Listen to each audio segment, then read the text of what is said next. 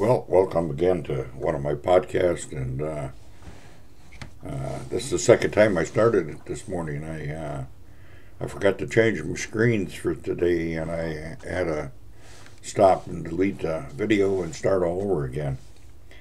Well, today is uh, January twelfth, and uh, I'm I live in the state of Minnesota, and uh, Normally for Minnesota, January weather is usually sub-zero. It's very cold out. Uh, we get uh, fairly cold winters here in Minnesota, but uh, today is going to be kind of unusual. Uh, it's actually going to get above freezing. It's going to get, we got a high of 33 degrees today that's almost like a spring day in Minnesota in January. Uh, I'm so used to having very cold Januaries where you don't even want to walk outside. now, I live uh, right on the Mississippi River. If I look out my front window, I'm looking at the the uh, Mississippi River. I'm very fortunate. I got a beautiful view. Uh, and there's only a few times that I've seen where it actually froze over. It has to get down to about 22 below or colder, and you see the steam pouring off the river, and and it freezes when it hits the trees, and everything is white, full of frost, and it's it's like a beautiful winter wonderland, and uh, it is beautiful, really, and. Uh, but you don't dare walk on the water uh, or on the river because there's water running underneath it it has to get pretty cold for a long time.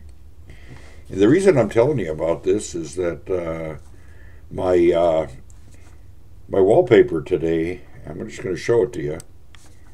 This is the Hudson River, and uh, there's a uh, a club up there that uh, sailboat. Even today, the the club is going, and uh, this was taken a few years back, but it really looks like a lot of fun. That's something I've never tried, but I sure would have liked to try it. Uh, I know that uh, I've tried, you know, little sailboats and stuff, but I've never tried to do this on ice, and it really looks like it'd be fun. Cold, but fun. So that's why I mentioned that. Uh, I just thought uh, that would be a, a something fun to try. Well, for the last couple times that we got together, we were talking about the resurrection. We were talking about, we read that scripture in John on the resurrection of Lazarus and the Lord raising him from the dead. Well, today we're going to go down a different road, and we're going to actually do it a little different way, too. Uh, our subject today is the Romans Road. And uh, something very unusual. Uh, let me just do some switching here. I got to uh, minimize this and make this bigger. Uh, I'm going to play a uh, a video for you. I was when I originally started setting up this uh, podcast. I had marked down a few verses that I was going to go through, which is called the Romans Road. Now, I know that uh, probably a lot of you out here has, have heard of the Roman road, but I don't know how many young people have uh, heard of it. So I thought I would do this. This, what we're doing today is actually, it's a good tool if you are talking to somebody about the gospel and the good news of the Lord Jesus Christ and how he died for us just to take them for a walk and take them for a walk down the Romans Road. And what the Romans Road is, is scripture uh, in the book of Romans. Most of it's in Romans. Uh, and you can just walk them right through these scriptures. And instead of me trying to explain it to you, I'm going to play this video. This video is just about four minutes long. So it's not a real long video. So uh, I'm going to switch screens and I'm going to play it. We are being censored. America's news outlets no longer provide the Oh, truth. this is a commercial. Joshua Phil- Okay, here we are. What is the Romans road to salvation? The Romans road to salvation is a way of explaining the good news of salvation using verses from the book of Romans. It is a simple yet powerful method of explaining why we need salvation, how God provided salvation, how we can receive salvation, and what are the results of salvation. The first verse on the Romans road to salvation is Romans 3:23. For all have sinned and fall short of the glory of God. We have all sinned. We have all done things that are displeasing to God.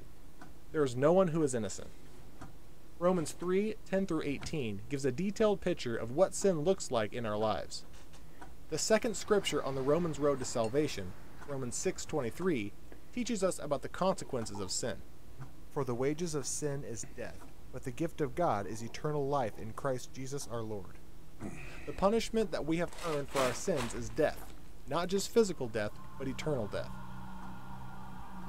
The third stop on the Romans road to salvation picks up where Romans 6:23 left off.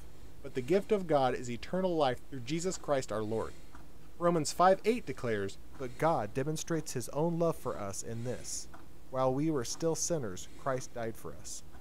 Jesus Christ died for us. Jesus' death paid for the price of our sins. Jesus' resurrection proves that God accepted Jesus' death as the payment for our sins. The fourth stop on the Romans road to salvation is Romans 10:9. If you declare with your mouth Jesus is Lord and believe in your heart that God raised him from the dead, you will be saved. Because of Jesus' death on our behalf, all we have to do is believe in him, trusting his death as the payment for our sins, and we will be saved. Romans 10:13 says it again. For everyone who calls on the name of the Lord will be saved. Jesus died to pay the penalty for our sins and rescue us from eternal death.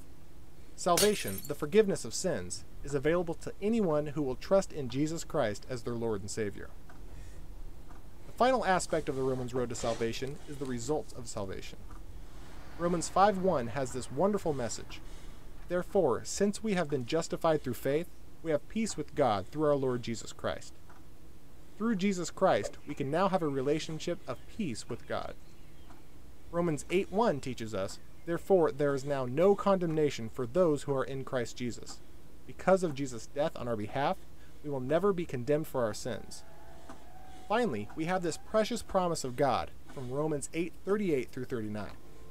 For I am convinced that neither death nor life, neither angels nor demons, neither the present nor the future, nor any powers, neither height nor depth, nor anything else in all creation will be able to separate us from the love of God that is in Christ Jesus our Lord. Would you like to follow the Romans road to salvation? If so, here is a simple prayer that you can pray to God. Saying this prayer is a way to declare to God that you are relying on Jesus Christ for your salvation. The words themselves will not save you. Only faith in Jesus Christ will provide salvation. God, I know that I have sinned against you and am deserving of punishment. But Jesus Christ took the punishment that I deserve, so through that faith in him I could be forgiven.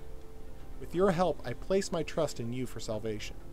Thank you for your wonderful grace and forgiveness, the gift of eternal life. Amen.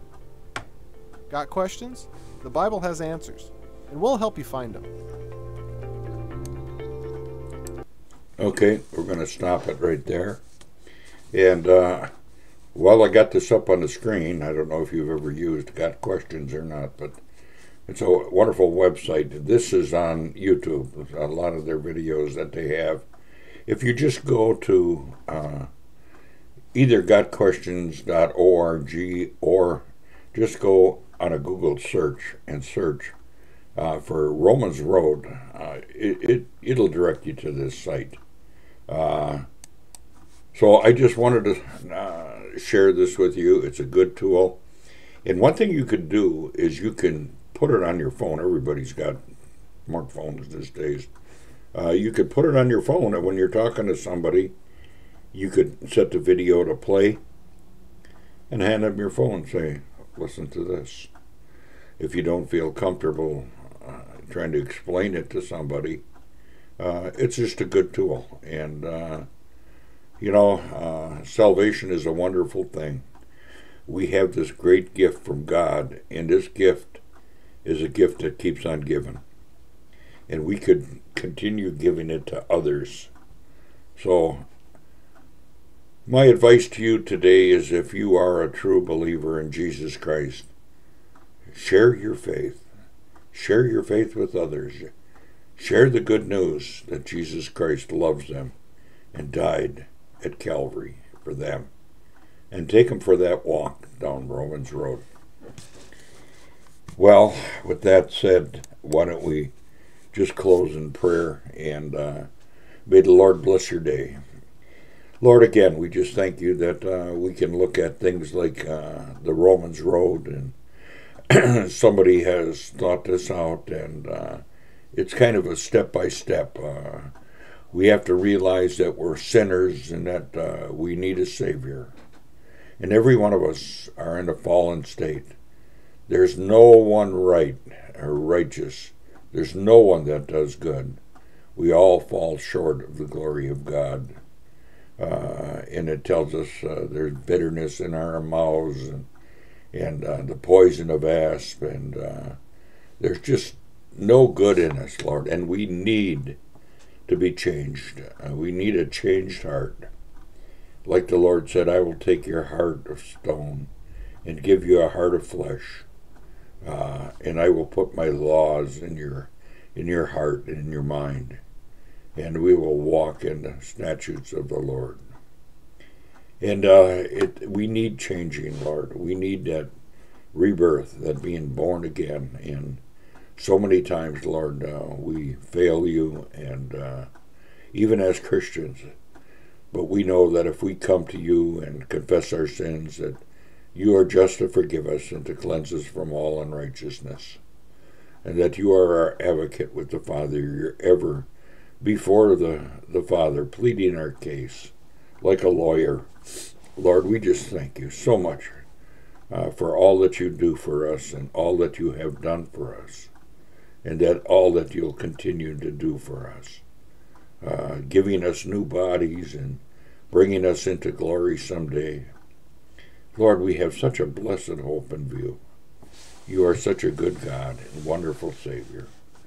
And I just pray that if anybody out here that uh, might have run across this uh, podcast that uh, doesn't know you, Lord, that they truly pray that prayer uh, and ask for forgiveness uh, and realize that they need a Savior.